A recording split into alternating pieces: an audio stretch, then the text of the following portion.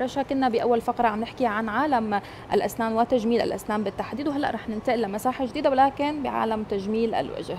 أكيد يا نرمين هاي الابتسامة الحلوة وهي الأسنان البيضاء اللي كنا عم نحكي عنها بفقرتنا الأولى بحاجة لتفاصيل ضمن الوجه كمان تكون حلوة.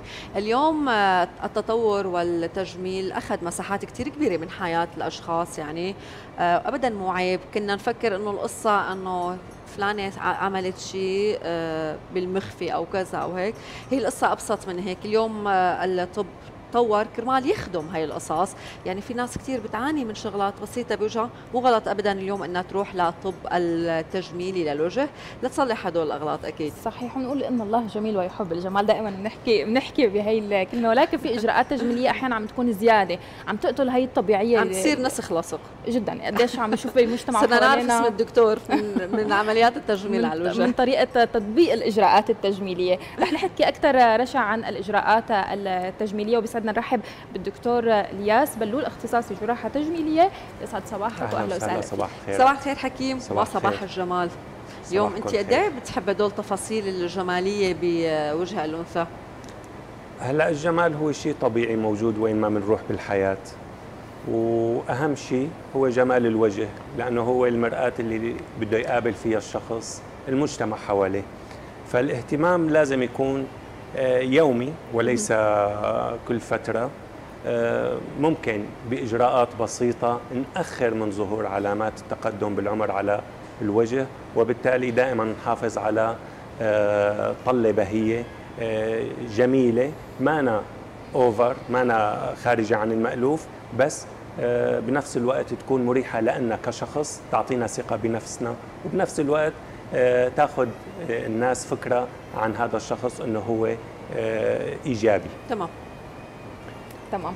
آه، دكتور خلينا هيك نحط الاجراءات التجميلية هي كثير واسعة وكبيرة. خلينا نحكي اليوم عن أبرز الإجراءات التجميلية اللي عم نشوف السيدات والصبايا عم يجوا لعند حضرتك أو بشكل عام عم يحبوا يسوون خصوصا بنشوف إنه عم يكون في حالة من التقليد. يعني يمكن تواجهك إنه شافوا صورة على الإنستغرام تماما. أو ال social media بيقول لك دكتور هيك بدي تصير عيوني أو خدودي أو أنفي. هلأ بالنسبة لموضوع التجميل هو شائع جدا وواسع جدا.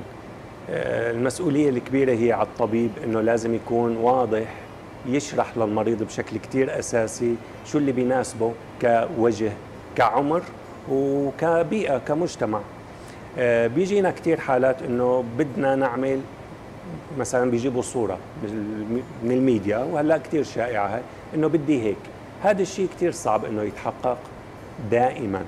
يعني مو كل الوجوه تاخذ أي إجراء تجميلي. هلا الإجراءات البسيطة مثل البوتوكس ال fillers آه، الحقونات اللي بتعطي آه، نضارة مثلا هي شائعة وموجودة بشكل عام. بس نحن اللي بنقصده هو تغيير الملامح بشكل جراحيا كبير. تماما. آه، هون بقى بيصير لكل حالة خصوصية لازم الطبيب يدرسها بشكل مفرد. اللي بيناسب اللي هو صح طبيا وبنفس الوقت راح يخدم المريض ويعطيه صورة أفضل. يعني مثلا آه، العمر هون بيلعب دور. آه، تعرض للظروف الجوية بيلعب دور. آه، نوعية البشرة الترهل اللي موجود المريض تعرض لنقص وزن مفاجئ مثلا أو لا. كل هاي الأمور ممكن تؤدي لترهل بالوجه ترهل بالأجفان. هذا الشيء بيتطلب إجراءات أكثر أو أكثر تقدما من الإجراءات البسيطة اللي حكينا عنها. وبالتالي هون بدنا ندخل بموضوع جراحي. مثلا على سبيل المثال من أشياء العمليات الشبه اليومية هي شد الأشفان. هون بنلجا لموضوع قص للجلد مع استئصال جزء من العضلة بسيط مع استئصال أحيانا آه، كتل دهنية موجودة. المريض بيقول لك إنه أنا عندي انتفاخات موجودة إن كان تحت العين مثلا أو بالأعلى. هون بدنا نشيلهم هدول الانتفاخات آه، بإجراءات بسيطة هي وإنما جراحية ما بيتعالجوا بمعالجة دوائية. طبعا مع أخذ الاحتياطات الجراحية الصحيحة من ناحية الشكل الرسمه النظاميه الصحيحة آه، عدم المبالغة بالاستئصال آه، القصة المرضية الإيجابية لازم تكون دائما موجودة المريض ما يكون عنده مشاكل نزفية ما يكون عنده آه، فوبيا من الجراحة بشكل عام. هاي الإجراءات ممكن تتم تحت التخدير الموضعي بالعيادة.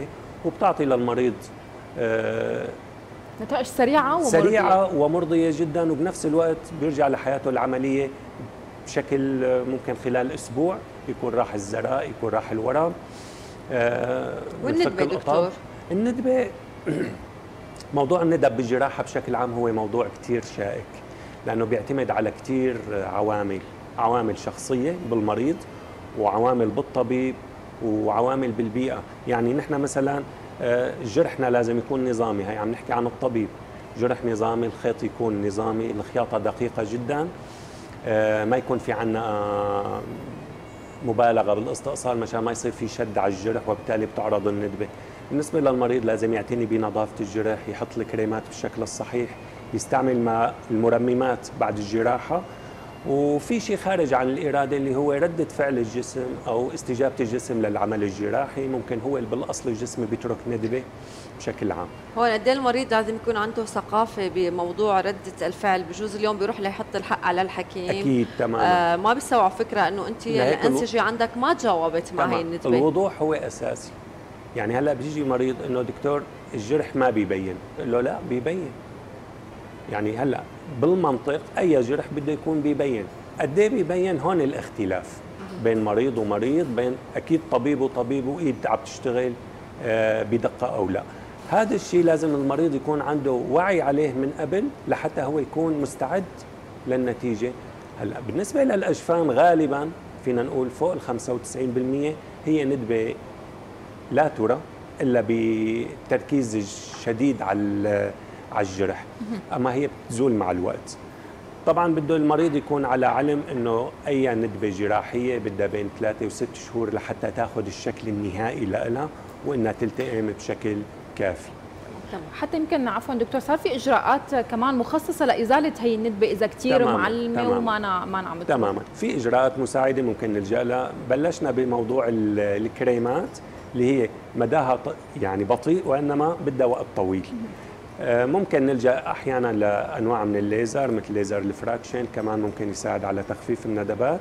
طبعا وهلأ بعالمنا في خافيات العيوب ال concealers هي ممكن إنها تستعمل بشكل كثير كبير إذا كانت الندبة واضحة. إذا الندبة over مثل من لأن إحنا جدرة أو ندبة ضخامية ممكن نلجأ ببعض الحالات لحقنا بالكورتيزونات الموضعية مشان إنه نخفف من آه، حجمها. خلينا نرجع شوي لتفاصيل الوجه ولا الجمال. حكينا عن شد الأجفان. آه، صرنا نسمع بعمليات شد الوجه الجزئي والكلي. آه، كثير ناس ما بتعرف شو يعني هي الجراحة. خلينا نشرح عنا وشو نتائجها بتكون. تمام. هلأ بنبدأ من محل ما خلص الدكتور قبل الدكتور إلياس إنه الأسنان هي أساسي بالوش. ليش؟ نحن وقت اللي بدنا نعمل أي بناء من الأساس من الداخل وبعدين بنكسيه من الخارج. كل ما كان الأساس سليم كل ما كان البناء من الخارج جيد. يعني موضوع وجود الأسنان كاملة ما في عندي ضياعات بالأسنان هذا بيعطي شكل فورم للوش كثير حلو. نجي بقى على الموضوع الثاني اللي هو موضوع الشد.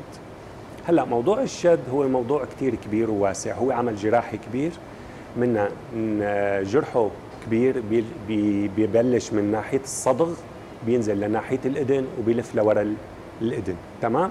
هاي بالنسبة لل full face lift لشد الوجه الكامل. طبعا إذا بدنا نشاركه مع شد الجبهة فهو عمليا آه كأنك عم تغير تماما مثل فيلم Face Off تمام. بنعمل face وبدنا نشده. هلأ بالنسبة للموضوع هو موضوع بسيط كفهم وإنما صعب كإجراء. نحن بدنا نعمل جرح بدنا نفصل الأنسجة بدنا نشد العضل وهو إجراء جدا مهم هو شد العضل لأنه هي اللي عم تسحب الأنسجة بالشكل الجيد وتعطي البناء الكامل الترهل. تماما لأنه في بعض الحالات ببعض عذرا الحالات المانا نظامية عم بيصير شد جزئي للطبقه السطحية اللي هي الجلد والمريض عم بيروح بعد بيتفاجئ بعد ثلاث شهور ست شهور ممكن سنة ماكسيموم إنه رجع الترهل بشكل واضح وكأنه ما عمل شيء. شد العضل هذا بيأخرنا من الموضوع بشكل كتير كبير وبيعطي نتيجة أجمل وأكبر. كونه عملية شد الوجه هي عملية كبرى فعالميا صار في شيء اسمه شد الوجه الجزئي.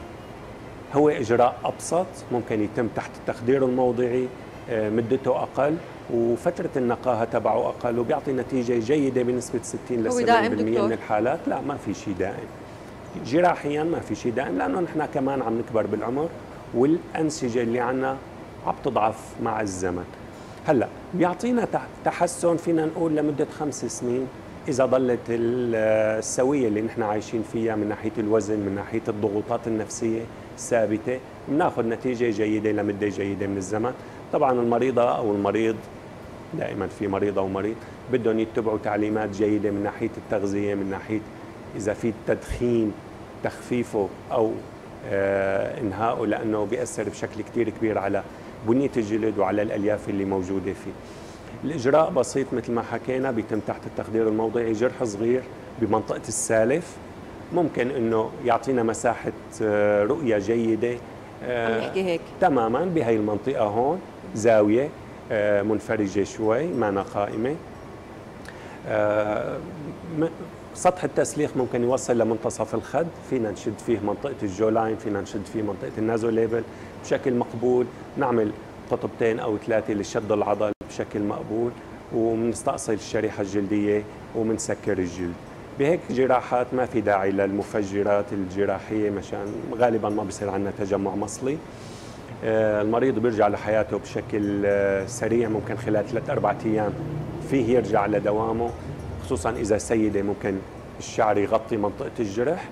آه، أحيانا ننصح المريض أنه يلبس مشد إذا كان في ترهل كبير عنا بالجلد مشان ندعم الجلد بشكل أفضل. وفك القطب بعد حوالي الأسبوع للعشرة أيام.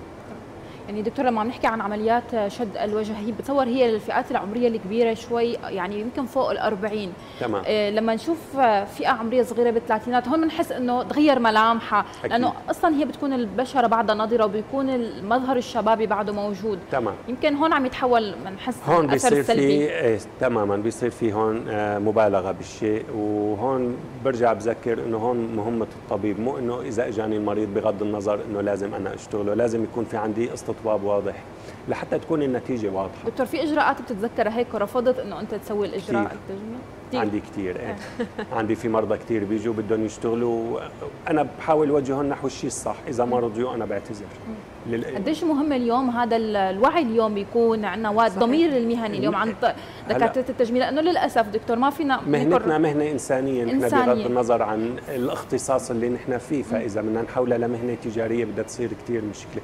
بس بنفس الوقت للأسف ال social media كثير سيئة. بنقاط جدا واضحة إنه بتوجه الجيل الجديد نحو التجميل. هن دكتور عم ينسوا لما عم يشوفوا هي الصورة إنه هي الصورة مو بس في عمليه تجميل في, في فلتر في فوتوشوب فهي عم تجي آه، بحالة يعني ما طبيعيه مضبوط. الكاميرات أغلبها حاليا فيها فلاتر آه، جاهزة تماما. تاخذ لك لقطة بتعطيكي ملامح أوضح. تمام. هلأ ممكن إذا هي كانت طموحها لشيء بسيط إنه أحاول أوجهها نحو شيء إجرائي بسيط يعني مثل فيلر آه غالبا هلأ مثلا كلهم بيجوا موضة التكساس إنه أنا بدي أعمل تكساس بدي خلينا نحكي هي التقنية. كثير دارجه دكتور. صرنا نشوف الاعلاميات كثير عم يساووا. إنه أنا دكتور بدي هاي المنطقة تكون واضحة ومرسومة. هي لها عوامل كثير في ناس الفك عندهم ضيق. هي بالأصل بنيوي.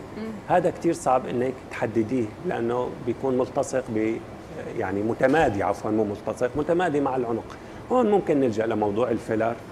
ممكن إنه نعرض الفك شوي نوعا ما بياخذ آه إيجابية. طبعا هي تقنية التكساس آه كمفهوم عام هو الذقن الذكوري وليس الأنثوي.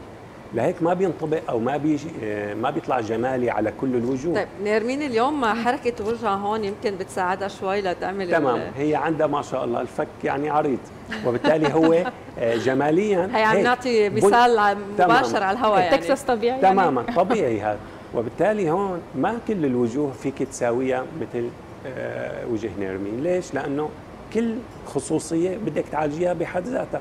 أنت هيك بنيوي هذا شيء جميل. وين عاملة نيرمين؟ طبيعي طبيعي. وطالع جميل لأنه هو بنيوي هي طبيعي؟ تمام؟ فبساعد. أحيانا لما يمكن عفوا دكتور هي النقطه بدي اقولها ما بيلبق لكثير أشخاص يعني تمام. في ناس في شيء مو بس هي مشكلة فك في عين في آه، بعد عن الأنف في دائما الوجه مساحة الجبين. بدك تنظري له كبنية متكاملة. ما فيك تفصليهم عن بعض. يعني إذا المريض قال إنه أنا بدي هي النقطة بدك تاخذي بعين الاعتبار أنت النظرة الشمولية. بتلبق ما بتلبق مناسبة لك بالشكل ولا لا. آه، فينا نعدل بأمور ثانية يعني مثلا أنا ما بدي أعرض الفك بدي حدد الرقبة. ممكن أعمل بوتوكس للرقبة. هذا الشيء بيساعد على تحديد الفك. إذا الفك بالأصل عندي عريض ممكن أنا مثلا الوجه كثير صغير الانسجه الشحمية اللي فيه قليلة. ممكن إلجأ لموضوع حقن الدهون الذاتية بالوجه. هذا الشيء كمان بيعطي إضافة بيعطي لمسة جمالية للوجه. ذكرت حقن الشحوم. اليوم عم نشوفها كمان كثير القصة. آه في صبايا كثير وشباب. اليوم عم نشوف الشباب يعني ساووا البنات بهي القصة يعني. عم بيسبقوها عم بيسبقوهم أكيد بتعرف انت من مرضاك يعني. بنشوف آه الصبايا بيروحوا لحقن الشحوم. ونحن كلنا بنعرف إنه هي شحوم من ضمن الجسم بتنحقن بأماكن ثانية أه حسب الطبيب أحيانا يعني حالات نحن شفناها بالواقع صبايا صار عندهم نفخة كثير قوية بوجههم. أه استمرت يعني أكثر من شهر. آه، نظامي يعني إنه منظر كثير مؤذي للعين. ولا وفي عند حدا ثاني دكتور ثاني كانت الوزمة آه، مقبولة. يعني وزمه جراحة يعني. خلينا نحكي أول شيء عن هاي الطريقة حقن الشحوم ضمن الوجه. وليش في اختلاف من حكيم لحكيم؟ هل هو آه، شطارة الدكتور أو اختلاف الأنسجة؟ تمام.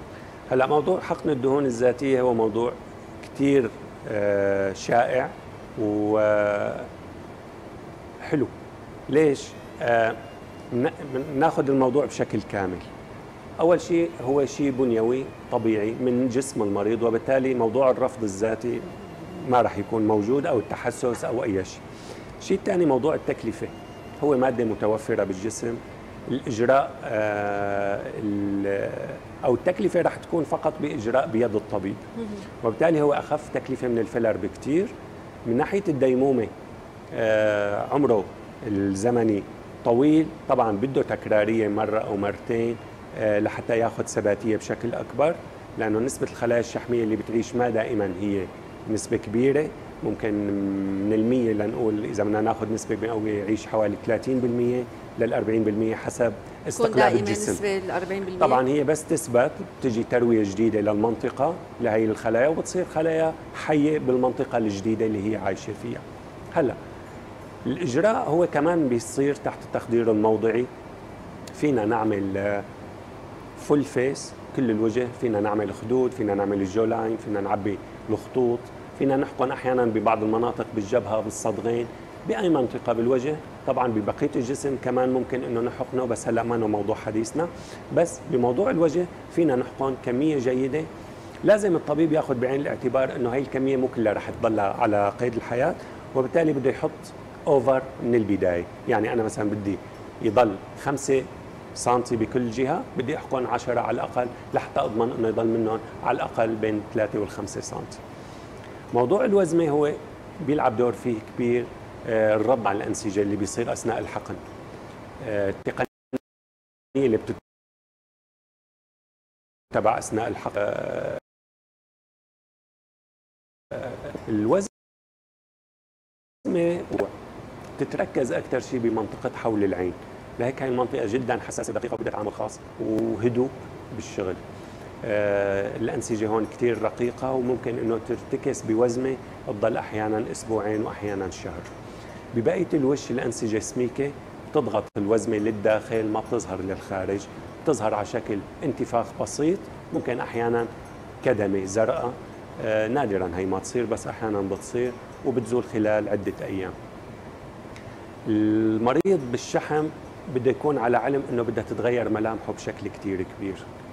يعني أحيانا ممكن إنه تتغير للدرجة إنه آه، يصير بيشبه حدا ثاني أو إنه آه، ي... إيه تماما يصغر بالعمر بشكل كثير كبير. طبعا هي إذا بده يشبه حدا ثاني بده يكون في تشابه بالملامح أكيد. آه، الوزمة بس تروح الوجه بيرجع لوضعه الطبيعي بس بشكل جمالي أكثر طبعا الشحم فائدته مو بس إنه بيعطي منظر كمان بيجيب تروية جديدة للبشرة مثل ما حكينا وبالتالي بيصير في نضارة بيصير في حيوية بالجلد بشكل أكثر بكثير من الشيء السابق. ممكن هذا الإجراء نلجأ له بكثير حالات مثل ما بعد شد الوجه. تمام. عملنا شد وجه ونعمل بعدين حقن شحم بعد ما تطيب الأنسجة من الوزمة تبع شد الوجه. هيك بنرجع حيوية أكثر للأنسجة اللي انشدت وفقدت كثير من مرونتها ومن بنيتها. يعني يوم بعد يوم عم نشوف الإجراءات التجميلية قديش عم تكون متطورة ومختلفة. وصرنا اليوم إذا بدنا نمدح حدا بنقول له ملامحه طبيعية أو أقرب للطبيعي. فقد ما إجراءات التجميلية اليوم هي مهمة وعن جد عم عم تغير مصير عالم أو تغير حياة عالم لما يكون عم تتوظف بطريقه صح وعم تخلصهم من مشكلة حقيقية. ولكن الاستخدام السيء دائما مثل أي شيء بالحياة تماما. عم ينعكس سلبا. بدنا نشكرك كثير اليوم لوجودك معنا. شكرا دكتور عالم. التجميل هو بحر واسع من الجمال والمعلومات. رح نستكمل بفقرات ثانية وصباحات ثانية حنمرق على كل أنواع التجميل اليوم الصبايا وشباب. الموضوع الأهم لهم بهذا الوقت. شكرا دكتور وصباحك. جمال على طول. نورت صباحنا. صباح الخيرات.